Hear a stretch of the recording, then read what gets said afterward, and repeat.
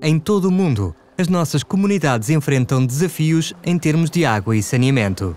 As normas ISO oferecem uma opção mais eficiente e higiênica para todos nós.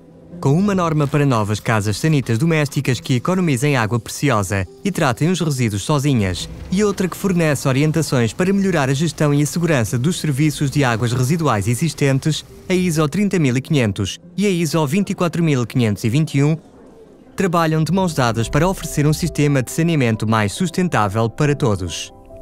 Isto dá poder a todas as nossas comunidades para continuarem a trabalhar em prol da dignidade, do progresso e da prosperidade.